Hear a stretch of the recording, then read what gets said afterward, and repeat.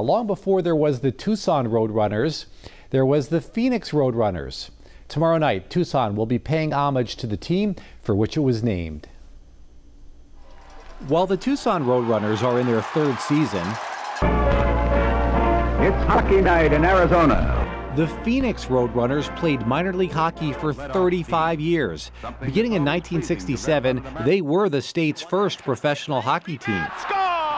Well, you know, we really wanted to honor our past. Thanks in part to team marketing director Mark Arlson, Saturday night, Tucson will dust off and wear the old Phoenix Roadrunners jerseys for its game against Colorado. To be able to wear that jersey, a, a team that was the first ones here, and really to own the name Roadrunners and be a part of it, it's just it's something special for us. Several former Phoenix Roadrunners will be part of the ceremonial puck drop. They don't include Wayne Gretzky, who actually put on a Roadrunner sweater one night as part of a preseason promotion. You can't get any bigger than the great one. And the Roadrunners' John Slaney isn't just Tucson's assistant coach. He's also a former Phoenix Roadrunner. It's always nice to, to see the old jerseys again, but uh, the biggest thing is it brings back memories of the guys you played with and just uh, overall memories for the game.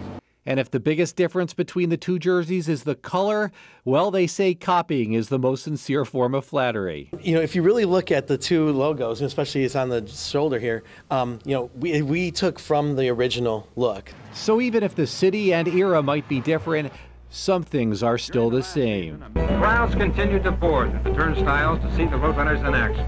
Whether it be in Phoenix or in Tucson.